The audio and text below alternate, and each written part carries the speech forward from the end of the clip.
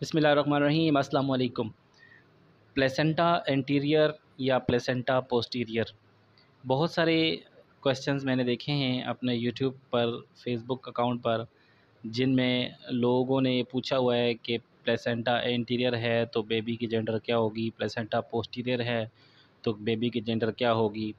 और बहुत सारे कमेंट्स मैंने ऐसे भी रिव्यू किए हैं जिनमें मुख्तलिफ़ लोगों ने ये कहा हुआ कि जी हमारी प्लेसेंटा पोस्टीरियर थी तो हमें फ़लाँ जेंडर का बेबी हुआ और हमारी प्लेसेंटा एंटीरियर थी तो हमें इस जेंडर का जो है वो बेबी हुआ है।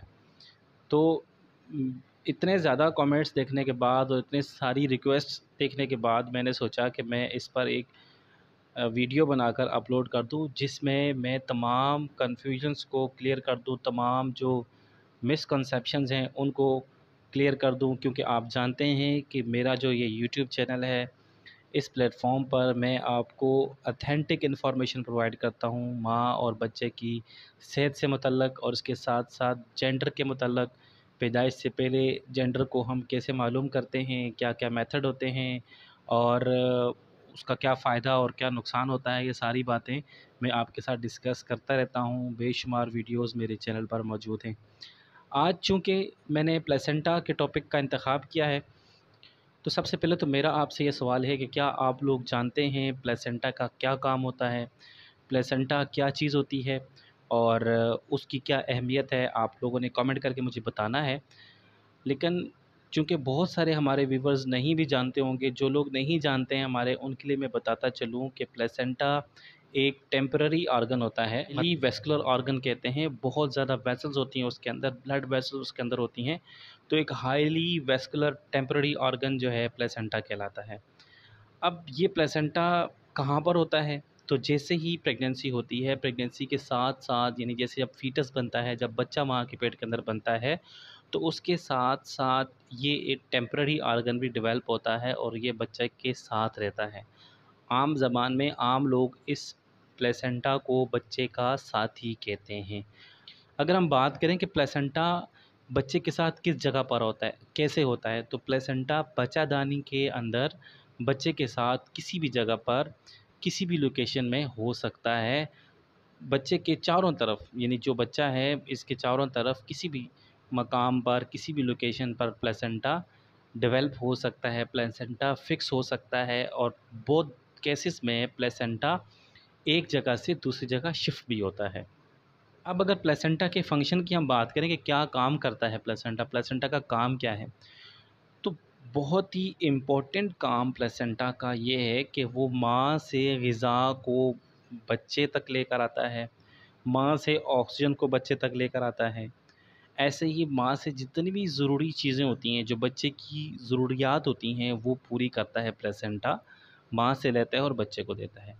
ऐसे ही बच्चे से जो फालतू मादे होते हैं, जो गैस बाहर निकलनी होती है चूँकि बच्चा तो अंदर ख़ुद सांस भी नहीं ले रहा होता ना तो जो जो गैस बाहर निकलनी होती है, जो फालतू मादे होते हैं, उन सबको प्लेसेंटा बच्चे से माँ तक लेकर जाते हैं। माँ का जो सिस्टम होता है, उस सिस्टम के ज़रिए वो फालतू मादे बाहर निकलते हैं।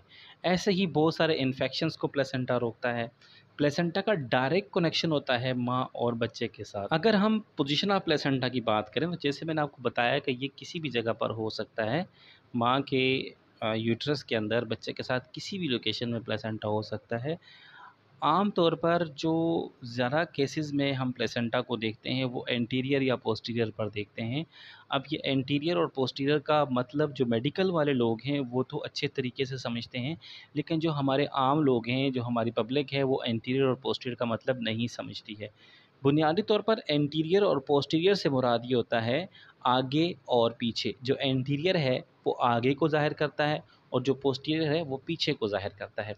यानी जो मेरी बेक है वो मेरा पोस्टीरियर है और जो मेरा फ्रंट है, वो मेरा एंटीरियर है। तो ये आप, पहले तो ये टर्म जो है एंटीरियर और पोस्टीरियर इनको समझ लें कि इनका मतलब क्या होता है। और भी बहुत सारी लोकेशंस पर प्लेसेंटा हमें मिल सकता है। वो अगर आप जानना चाहते हैं, आप की अगर लोकेशन प्लेसेंटा की एंटीरियर या पोस्टीरियर से हटकर कोई लोकेशन है तो आप कमेंट करके मुझे बताएँ, आपको उसका जवाब कमेंट में ही मिल जाएगा। अब जो प्लेसेंटा होता है, उसका एंटीरियर या पोस्टीरियर से क्या मुराद है? तो बच्चे के साथ अगर जो माँ का जो पेट है, उसके सामने की जानब यानी कि अगर बाहर की जानब प्लेसेंटा होता है, सामने की जानब अगर प्लेसेंटा होता है तो उसको हम प्लेसेंटा एंटीरियर कहते हैं। और बच्चे से पीछे अगर प्लेसेंटा होता है, यानी सामने बच्चा है और उसके पीछे प्लेसेंटा है, माँ की कमर की तरफ़ प्लेसेंटा है तो इसको हम पोस्टीरियर साइड प्लेसेंटा कहते हैं, या पोस्टीरियर लोकेशन प्लेसेंटा कहते हैं। अब मज़ीद समझने के लिए आप ये देखें कि ये जो इमेज आप देख रहे हैं, इसमें प्लेसेंटा जो है, वो एंटीरियर साइड पर है। बच्चे के सामने प्लेसेंटा है। ये जो पिंक कलर की शेप बनी हुई है प्लेसेंटा की है और ये फीटस यानी बच्चे के सामने की जानब है। ऐसी जो पोस्टर होता है, वो बच्चे के पीछे की जानब होता है। अच्छा बच्चे की लोकेशन इसमें मैटर नहीं करती। हो सकता है बच्चे का प्लेसेंटा की तरफ़ फेस हो हो सकता है प्लेसेंटा की तरफ़ उसकी बेक हो, लेकिन ये मैटर नहीं करता। हम बात कर रहे हैं कि प्लेसेंटा यूट्रस के अंदर किस लोकेशन में होता है। यानी कि माँ की यूट्रस में वो एंटीरियर है या पोस्टीरियर है। अब जो कॉमन जो क्वेश्चन लोग पूछते हैं या बात जो करते हैं लोग कि एंटीरियर प्लेसेंटा कुछ कहते हैं मेल जेंडर कुछ कहते हैं फीमेल जेंडर पोस्टीरियर प्लेसेंटा का भी ऐसा ही है तो इसकी क्या रियलिटी है, क्या हकीकत है? देखिए, मैंने आपको जैसे ये इमेज दिखाई है कि सामने की तरफ़ प्लेसेंटा है और पीछे की तरफ़ फीटस है तो हम अगर इस इमेज को भी देखते हैं तो इस इमेज में भी हमें नहीं पता चल सकता कि ये मेल जेंडर है या फीमेल जेंडर है। तो अल्ट्रासाउंड में हम ये कैसे देख सकते हैं, कैसे आइडिया लगा सकते हैं, या हम ये कैसे कह सकते हैं कि प्लेसेंटा एंट्रीड होने से ये जेंडर है और प्लेसेंटा पोस्टर होने से ये जेंडर है। तो इसका कंक्लूजन ये है, इसका नतीजा ये है सारी गुफ्तु का कि प्लेसेंटा लोकेशन कोई भी हो फीटस के साथ उसका जेंडर से कोई तल्लक नहीं होता। लड़कियों में भी और लड़कों में भी प्लेसेंटा किसी भी लोकेशन पर हो सकती है।